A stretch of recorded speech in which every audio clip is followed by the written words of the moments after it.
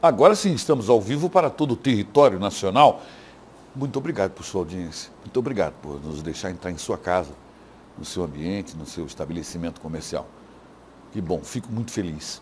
E de pontinho em pontinho a gente vai conquistando os corações de todo o Brasil. E como é bom. E tudo bem no seu tempo, tempo de Deus, que é Ele quem comanda. Sabe? Essas coisas de foguete que vai, sabe, é igual uma música que estoura demais, daqui a pouco some, né? Vamos devagarinho, vamos manter o nosso trabalho, vamos manter a nossa construção, uma base bem feita, bem, bem sólida, que a gente permanece muito tempo com fé em Deus, entrando na sua casa, tá bom? Moradores de Criciúma, em Santa Catarina, tiveram uma madrugada de terror.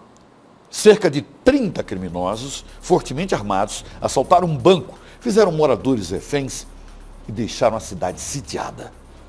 Tem vídeo? Tem sim, vamos ver. Daqui a pouquinho a gente continua falando sobre, é, assim, vamos ter mais novidades sobre o caso. Eu só quero daí dar um grande recado para o Brasil. É, o pessoal do, do Paz e Amor, vocês deveriam ir para a janela soltar umas pombas. Para o bandido ir embora, jogar livro, não é? O rapaz invadiu meu coração. Rapaz bater panela, dá muito certo. Panela é mesmo, panela. Batam panelas. Quando tiver isso na sua cidade, bata panela. Olha, o bandido corre tudinho. Viu? Jogue flores. Flores, flores. Né? Eu vi muito artista que mora no Leblon brigando por política em São Paulo. Morando em cobertura, apartamento caro preocupado com a eleição em São Paulo. Lógico, era lá que ele ia voltar a mamar, né? Fazer show para eles mesmos. Perderam.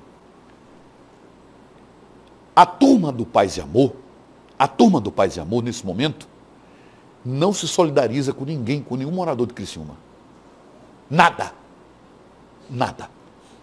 Quando acontecer um assalto desse, eu queria que fosse num. Não quero não, não deixa eu desejar o mal.